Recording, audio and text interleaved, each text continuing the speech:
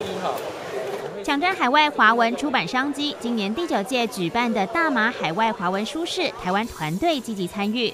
二十六号在会场，驻大马代表罗游中更公开赠送一批台湾金鼎奖出版品，以及台马文学翻译书给大马拉曼大学，借此象征台马中华文化的交流与传承。这个台马之间在这文化产业方面的合作潜力是非常大的。事实上，我们也看到，在马来西亚的马来西亚在台湾的艺人，在台湾可以说是大方。